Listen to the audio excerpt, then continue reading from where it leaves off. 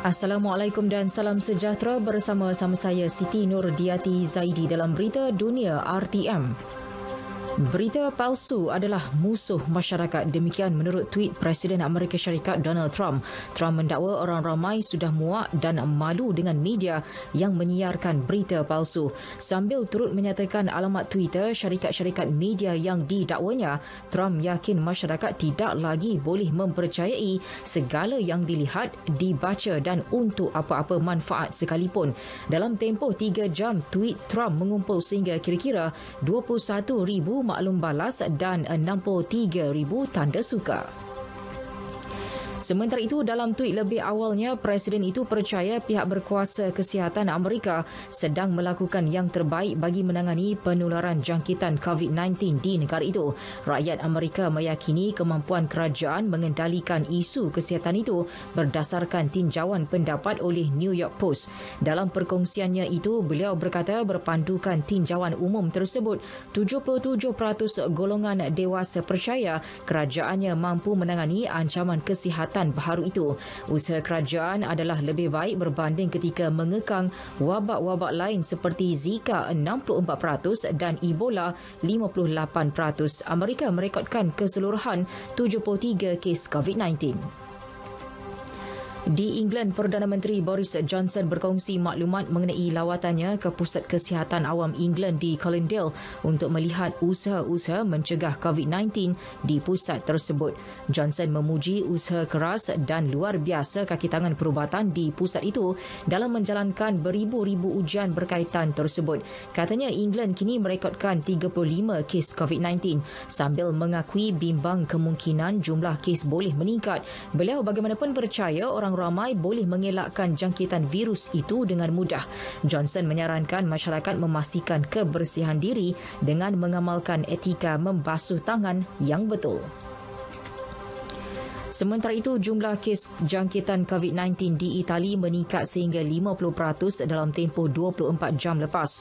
Keseluruhan kesnya telah mencecah hampir 1,700. Lima orang yang dijangkiti virus tersebut juga telah meninggal dunia menjadikan angka kematian mencapai 34 orang.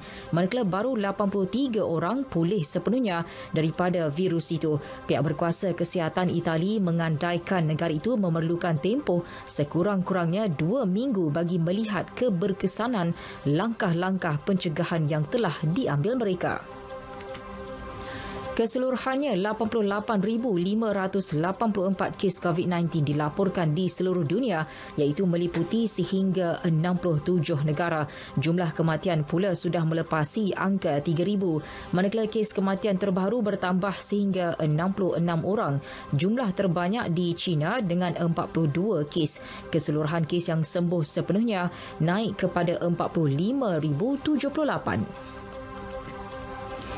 Dalam perkembangan lain, tentera Turki menembak jatuh dua pesawat tempur Syria selepas tentera Syria menjatuhkan drone Turki. Kejadian berbalas serangan itu merupakan antara kemuncak ketegangan dalam konflik secara langsung ke tentera kedua-dua negara.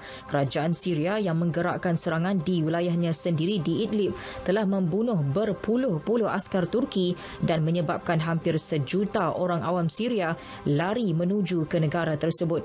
Idlib merupakan kubu kuat terakhir terakhir penentang kerajaan Syria. Ankara yang merupakan penyokong kumpulan penentang itu yang berjuang di Idlib telah menghantar beribu-ribu askarnya ke kawasan itu. Manchester City berjaya menjulang Piala Liga buat kali ketiga berturut-turut selepas menumpaskan Aston Villa 2-1 di Stadium Wembley. City yang lebih banyak mendominasi permainan menyumbat gol pertama menerusi Sergio Aguero minit ke-20.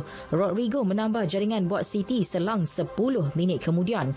Villa berusaha mencari gol tetapi hanya mampu mencipta satu jaringan melalui penyerang Mbuana Samata minit ke-41. Pengendali The Citizens Pep Guardiola menghamburkan pujian pujian kepada para pemainnya atas kejayaan kelab itu yang telah memenangi enam daripada tujuh piala utama dalam bola sepak Inggeris. Dalam kempen Liga Perdana Inggeris, Manchester United terikat satu sama dengan Everton di Goodison Park. Perlawanan seimbang antara kedua-dua pasukan dengan tuan rumah berjaya mencari gol pertama menerusi penyerang Dominic Calvert-Lewin seawal minit ketiga. Mujur gol Bruno Fernandes minit ke-31 menyelamatkan Man U sekaligus membolehkannya mengumpul 42 mata dan menduduki tangga kelima. Wolf turut berkongsi mata sama tetapi menduduki tangga ke-6 selepas mengalahkan Tottenham Hotspur 3-2.